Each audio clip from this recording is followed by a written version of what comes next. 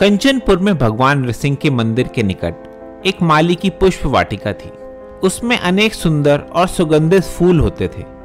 माली प्रतिदिन फूलों की एक माला बनाकर भगवान नृसिंह पर चढ़ाता और शेष फूलों को बाज़ार में बेच देता।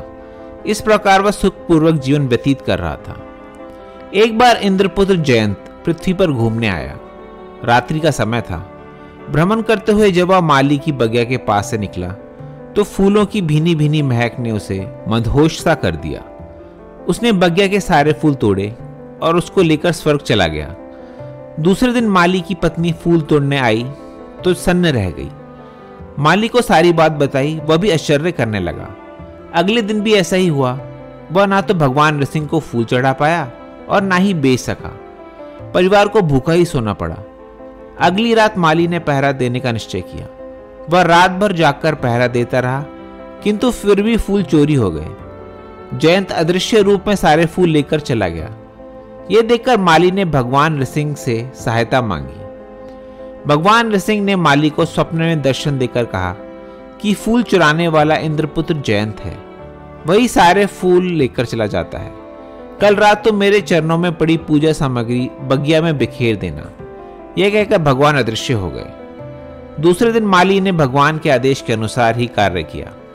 रात के समय जयंत आया और फूल तोड़ने लगा।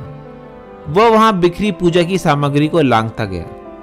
इससे वह शक्तिहीन होकर वहीं खड़ा रह गया। बगिया के बाहर सारथी उसकी प्रतीक्षा कर रहा था। भोर होने वाली थी। सारथी ने वापस चलने के लिए कहा, लेकिन जयंत तो वहाँ पर जड़ चुका था। उसकी यह दशा देखकर सारथी भी दंग रह गया। तभी वहाँ पर आकाशवाणी हुई। जयंत, तुमने पौधों के पास पड़ी पूजा सामग्री को लांगा है, जो नृसिंह जी पर चढ़ी थी। साथ ही तुमने एक गरीब भक्त के फूलों की चोरी की है। इसलिए जब तक तुम अपने पाप का प्रायश्चित नहीं करोगे, स्वर्ग नहीं जा सकोगे। जयंत, कुरुक्षेत्र में परशुराम यज्ञ कर रहे हैं। वह बारह वर्षों तक चलेगा।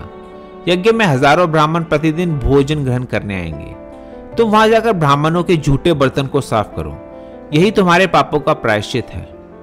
आकाशवाणी समाप्त होते ही जयंत का मुकुट और आभूषण अदृश्य हो गए। वह एक साधारण मनुष्य के समान हो गया। उसके पैर भी ठीक हो गए।